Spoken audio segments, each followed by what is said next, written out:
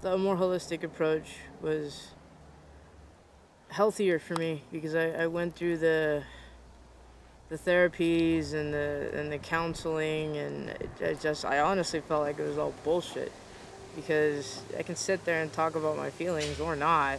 And I don't feel like that's productive at all because it's like who wants to basically be shoved in a room? Who wants to be forced to do something that they don't want to do you're not Yeah. going to get anything out of us especially after everything we've been through if we're misunderstood, then I mean, as for veterans everywhere, I know I can I can say that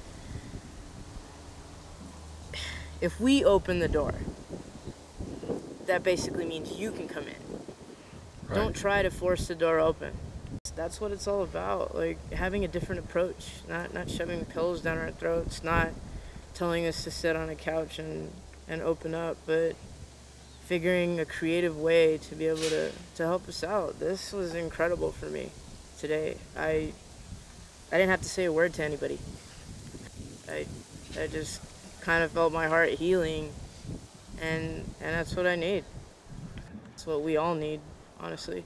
Did you expect this? I didn't. I didn't expect to be sitting here for an hour with Libby, just, just kind of bonding, and that was very much needed.